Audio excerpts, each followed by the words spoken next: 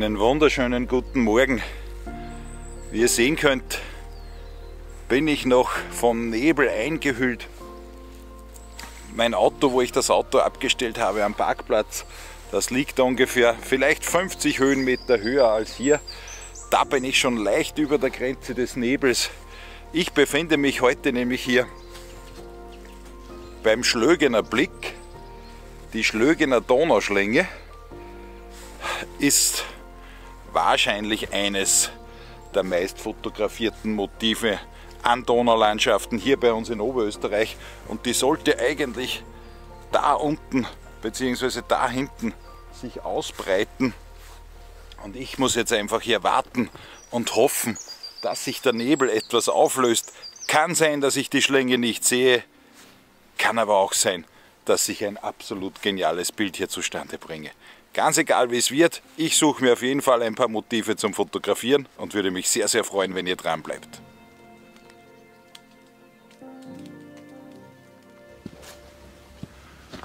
Ja, und das, was ihr jetzt hier sehen könnt, das wäre der Anblick in der Abendsonne der Schlögner Schlänge. Ihr könnt sehen, die Schlänge, das ist die Donau hier, die kommt hier von Passau herunter und macht eben hier mal so eine erste Schlänge und dann da hinten noch eine zweite Schlänge, wo sie dann um diesen Bergrücken oder Hügelrücken weiterläuft Richtung Linz. Das heißt, hier kommt sie von Passau, hier geht es dann weiter in Richtung Linz und Wien. Und diese Donauschlänge war natürlich auch ein Bereich des Donaulimes, das heißt der Grenze des römischen Imperiums, der Grenze des, der nördlichen Grenze des römischen Imperiums. Und hier auf dieser Tafel finden wir eben die Info, dass sich im Tal unten in Schlögen bei der Schlinge eben noch Reste des Römerkastells Io Viacum befinden. Und ich kann mir durchaus sehr gut vorstellen, dass auch die Römer schon ihre Freude hatten am Anblick dieser Donauschlinge bei richtigem Wetter. Ja, im Moment ist sie noch vom, Hebel, vom Nebel verhüllt. Da hinten hoffen wir, dass der Nebel uns einen Blick erlaubt.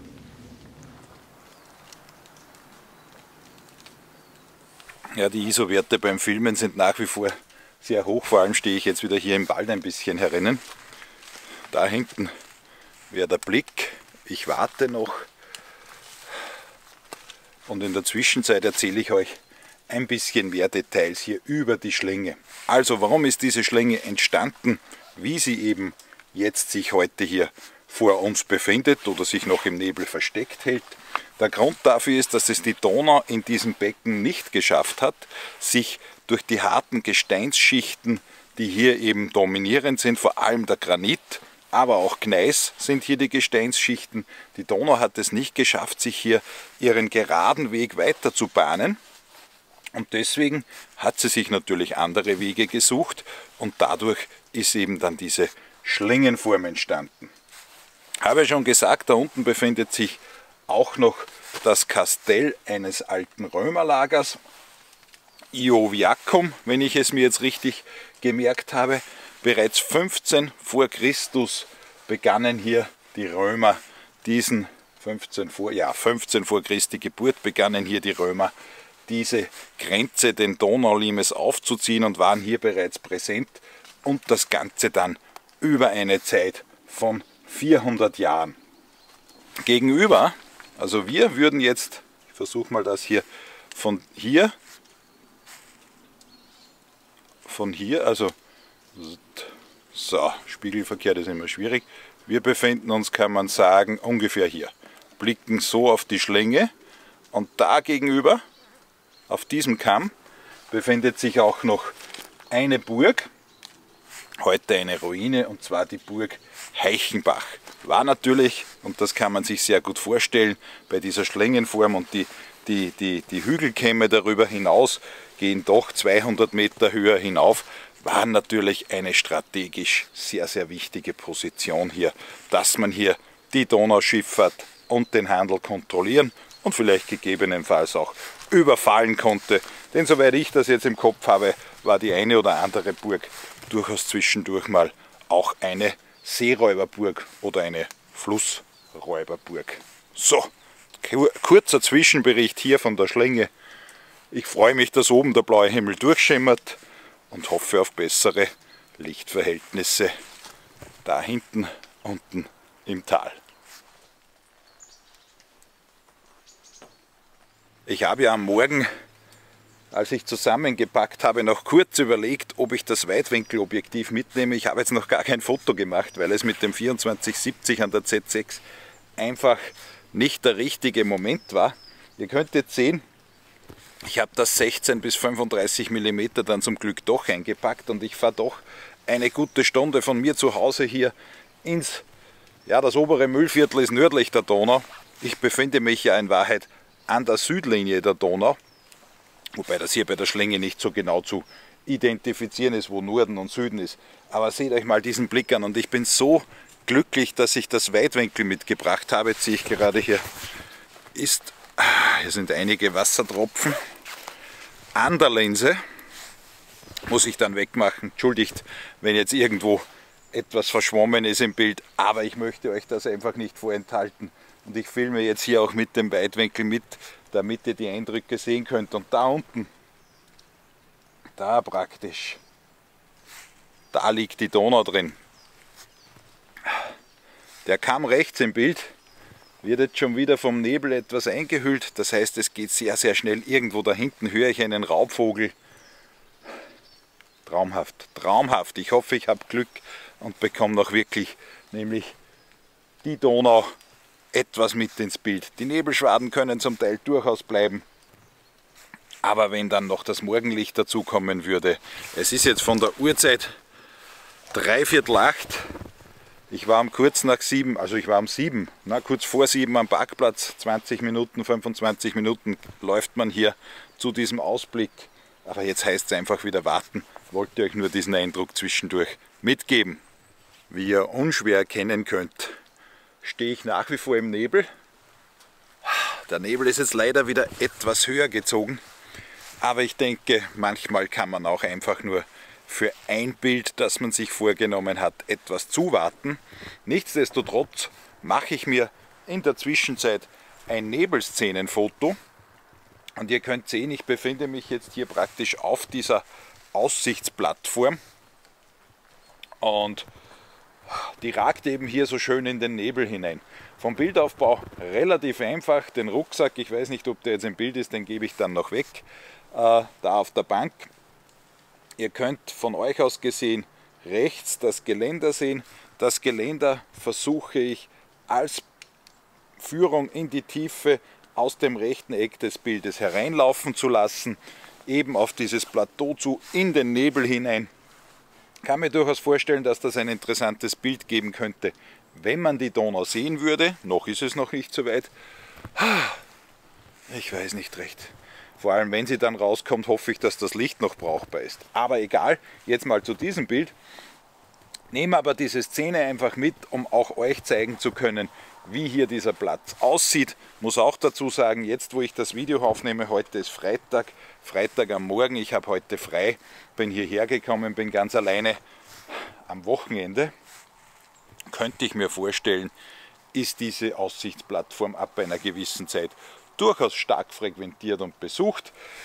Nicht zuletzt deswegen, weil hier auch der Donausteig vorbeiführt und auch so ja, spannende Ausflugsziele oder Städte, jetzt bin ich etwas zu hell hier, Passau zum Beispiel in diese Richtung, ist nicht mehr allzu weit. Und auch von Linz ist man sehr, sehr schnell heroben. Und die Wanderer, die natürlich hier vorbei wandern, kommen auch dazu. Also hier mal zwischendurch ein Foto mit diesen interessanten Felsen, mit den Geländern hier als Führungslinie rein. Ja, und noch mit dem Nebel, noch habe ich die Hoffnung nicht aufgegeben, aber jetzt mache ich mir hier einfach mal ein Bild von dieser Szene.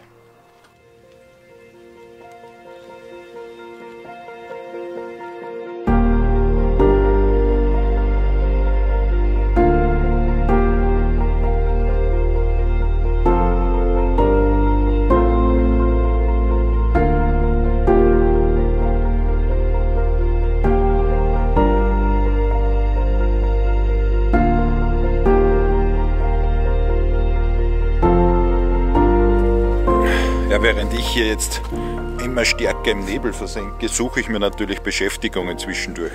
Da könnt ihr die Kamera sehen. Da diesen metallenen, komisch anmutenden Römerkopf. Und den werde ich jetzt dann mal fotografieren. Diesen Kopf kann man aber auch noch für etwas anderes verwenden. Und zwar sind hier die Entfernungen aufgeschrieben. Und zwar zu den Römerstädten, die sich in der unmittelbaren oder etwas weiteren Entfernung befinden. Hier zum Beispiel geht es nach Iuvavom, das war Salzburg, 115 Kilometer. Interessanter natürlich hier in der Nähe, wenn man das jetzt dreht. Äh, was ich zuvor schon gesagt habe, Ioviacum, Schlögen, sind nur 500 Meter. So, jetzt hat mich der Autofokus verloren. Ich brauche, glaube ich, hier etwas mehr Licht. Ja, jetzt geht's wieder. So, also Io, Ioviacum, Schlögen. Für meine deutschen Zuseherinnen und Zuseher, vielleicht spannender hier. Castra Regina, Regensburg. Oder Boiotro, spricht man sicher anders aus im Lateinischen, das war Passau. Aber auch so kleine Orte wie Oberanna, das ist am nördlichen Donauufer hier ganz in der Nähe. Und dann natürlich die weiten Entfernungen Wien, Wien-Dobona, aber auch Rom. Also Rom ist von hier entfernt 1003 Kilometer. Gut, über mir der blaue Himmel, unter mir irgendwo ein Hahn und der Nebel.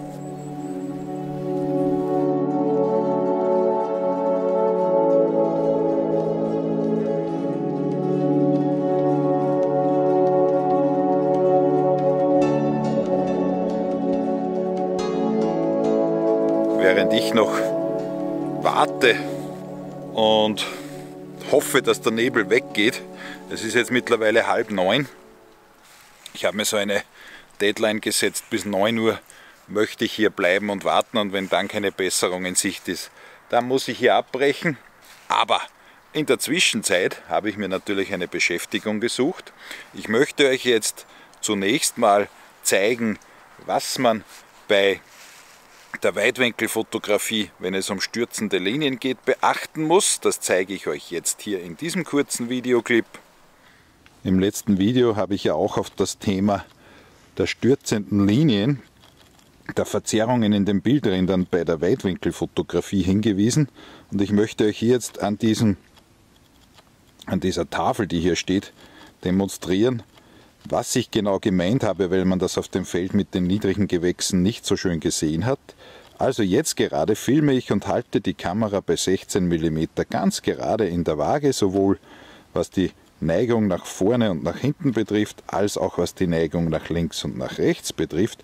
Und ihr könnt sehen, dass der Holzpfosten rechts eigentlich relativ schön gerade wirkt. Wenn ich jetzt die Kamera nach oben neige, dann könnt ihr sehen, wie, die, wie dieser Pfosten zu kippen beginnt. Und auch wenn ich sie nach unten neige, dann kippt er eben in die andere Richtung. Und darauf sollte man eben achten bei der Weitwinkelfotografie, vor allem wenn man diese stürzenden Linien vermeiden will, aber auch wenn ich sie vielleicht als Effekt einsetzen will. Und dann habe ich mir noch ein Motiv gesucht zum Fotografieren. Da habe ich mal ein Bild gemacht, einfach in den Wald hinein, weil dort zwei Bäume mit wunderschön färbigen herbstlichen Blättern sich befinden, aber auch ein bisschen ICM-Fotografie probiert und die beiden Clips zeige ich euch jetzt auch noch und dann blende ich euch mal einfach die Bildergebnisse von hier ein.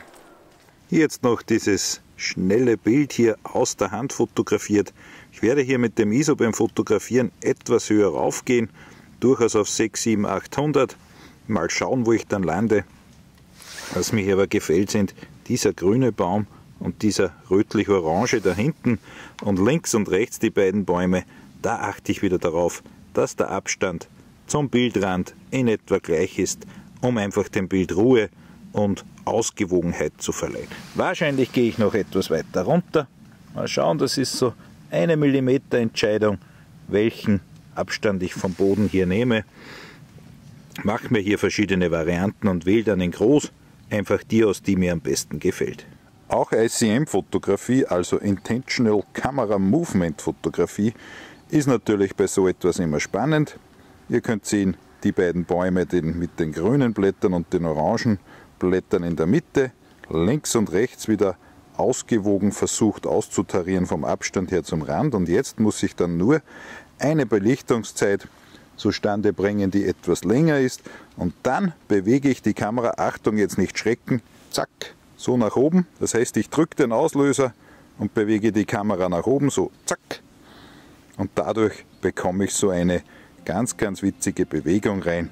Und ich blende euch jetzt mal einfach die Bilder davon oder die Ergebnisse hiervon blende ich euch jetzt einfach mal ein.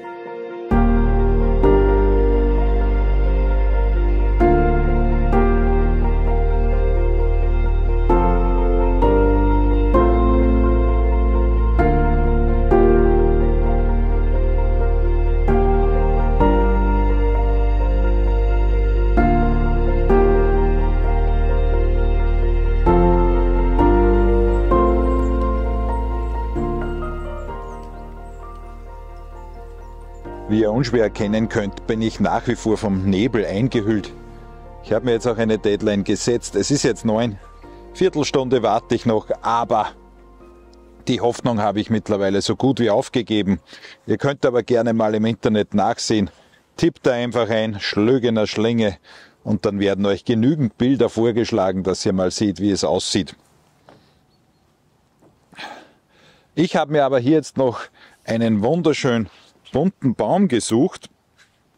Und da hole ich euch jetzt einfach mal wieder durch die Kamera dazu, denn nur weil ich meine gezielten Motive nicht erreiche oder nicht fotografieren kann, heißt das ja noch lange nicht, dass man nicht andere schöne Motive hier im Herbstwald entdecken kann. Also, ich hole euch hier dazu und ihr könnt eben jetzt hier sehen, da vor euch diesen wunderschön bunten, noch etwas niedrigeren Baum und da links im Bild diesen mächtigen Stamm. Die beiden möchte ich jetzt gemeinsam ins Bild bringen. Und da zoome ich jetzt mal etwas rein. Und prinzipiell gefällt mir das so jetzt noch nicht so gut. Bitte wieder beachten, im Foto selbst ist dann oben und unten wieder etwas mehr drauf. Jetzt neige ich aber die Kamera, ich kippe sie. Und jetzt könnt ihr sehen, wird der Baum links im Bild gerade und ich bringe den Strauch noch so dazu. Das heißt, ich schummle mir hier ein bisschen ein Bild zurecht. Auf jeden Fall, wenn ich es kippe, gefällt mir das ganz gut. Selbst auf diese Entfernung, ja, was werden das sein? Vielleicht fünf Meter, aber selbst auf diese Entfernung sieht man sehr gut, wie der Nebel hier seinen Spuk treibt und mir einfach nicht die Möglichkeit gibt, heute auf die Donau runter zu blicken. Dieses Foto nehme ich mir jetzt auf jeden Fall hier noch mit. Dann warte ich noch ein paar Minuten und dann, ja, über mir ist noch der blaue Himmel, mir kommt fast vor, der Nebel wird mehr. Aber dann versuche ich wieder etwas höher zu steigen. Vielleicht bekomme ich da oben dann im Wald noch das ein oder andere Motiv, das ich gemeinsam mit euch betrachten und fotografieren kann.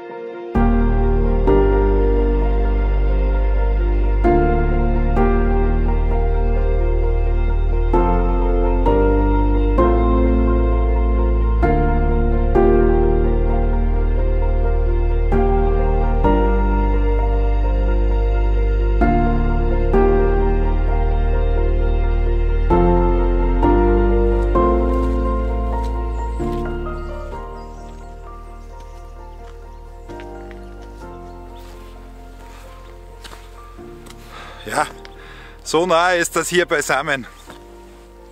Ich glaube keine 50 Höhenmeter, die ich jetzt von, diesem, von dieser Aussichtsplattform hier hochgegangen bin. Da unten, da wo die Nebelbank liegt, da darunter befindet sich die Schlögner Schlänge und die Donau. Hier oben ein traumhafter Herbsttag, hilft nichts. Bin mir ziemlich sicher, da kein Wind geht. Jetzt läuft die Linse an, entschuldigt da kein Wind geht, gehe ich davon aus, dass sich dieser Nebel noch einige Zeit halten wird, wenn er überhaupt heute weggeht. Das ist hier im Donaubecken so. Macht nichts. Ich, scha ich schaue, ob wir hier heroben im sonnigen, goldenen Herbstwald noch ein Motiv finden.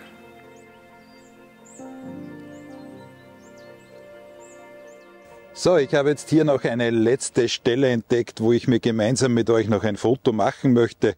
Vor mir breitet sich so eine kleine Lichtung aus.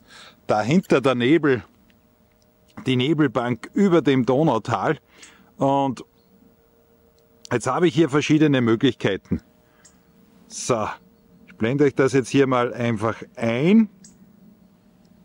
Wenn ich jetzt hier reinzoome, dann kann ich versuchen, mir gefallen die beiden Bäume da hinten ganz gut und den finde ich eigentlich als Motiv auch ganz spannend. Aber ich bekomme den rechts nicht ins Bild, ohne dass hier ganz rechts noch ein zweiter dazukommt. Deswegen gehe ich jetzt hier trotzdem in den Weitwinkelbereich. Ungefähr so, versuche die Kamera halbwegs in der Waage zu halten. Wichtig ist mir dieser Baum, dieser Baum und dieser Baum, die positioniere ich so von der Mitte links rauslaufend, oben und unten dann im Foto wieder etwas mehr drin. Was ich euch aber jetzt hier zeigen möchte ist, wenn ich jetzt die, also wieder dieser, dieser Verzerrungseffekt an den Rändern. Wenn ich jetzt hier die Kamera kippe, dann achtet mal, was mit den Bäumen passiert. Jetzt der Baum ganz links, halbwegs gerade. Wenn ich den jetzt, wenn ich jetzt das, das, also die Kamera nach oben ziehe, dann beginnen die Ränder eben nach innen sich reinzubiegen. Nach unten stürzen die Linien eben dann oben nach außen. Und das ist es, worauf man bei der Weitwinkelfotografie ein wenig achten muss. Ich werde mir dieses Foto jetzt einfach auch mitnehmen, so als Erinnerung daran, dass da unten eben die Schlögner Schlänge ist, im Nebel verdeckt. Befürchte, sie wird sich heute nicht mehr zeigen. Machen wir aber hier jetzt noch ein letztes Foto oder vielleicht auch ein paar Varianten die blende ich euch am Ende dann auch noch ein. Von euch möchte ich mich aber an dieser Stelle wieder verabschieden. Leider konnte ich euch die Schlinge nicht zeigen, das werden wir an einem anderen Tag sicher nachholen. Mich hat es gefreut, dass ihr wieder zugesehen habt. Wenn euch das Video gefallen hat, Daumen nach oben, würde mich sehr, sehr freuen. Abonniert meinen Kanal, falls ihr das noch nicht gemacht habt, das würde mich riesig gern. Und wir, wir sehen uns im nächsten Video. Bis dahin alles Liebe und bleibt gesund. Ciao.